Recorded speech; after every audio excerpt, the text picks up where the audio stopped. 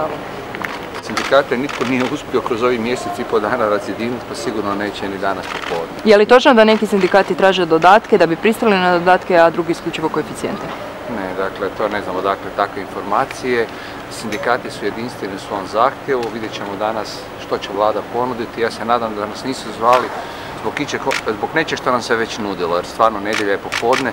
Ja nekako mislim da je ipak ta ponuda značajno drugačija Znači, od, danas da će popustiti?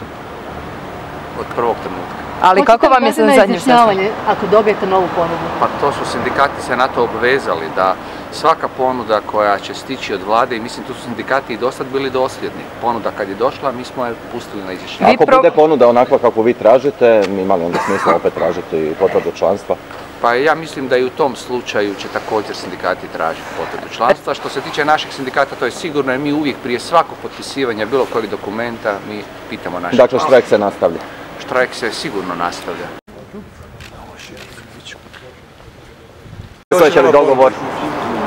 Više pitanja odjednom. Vlada je pozvala da dođemo na sastanak. Mi smo i prošli puta najavili da ćemo se odazvati i subotom i nedjeljom u bilo koje vrijeme. Očekujemo da, vjerujem da vjerujemo da vlada ima ponudu za koju oni smatraju da je dovoljno dobra da se učenici i, i učitelji sutra vrate u klupe. A kako će to biti vidjet ćemo. Pod kojim uvjetima vi prestajete sa štrajkom danas? To smo rekli vladi. Reci, Koeficijent je ključna riječ u ovom momentu koja može zaustaviti danas gospođo. Šprem, koliki koeficijent može odmah? Znaju se koeficijenti.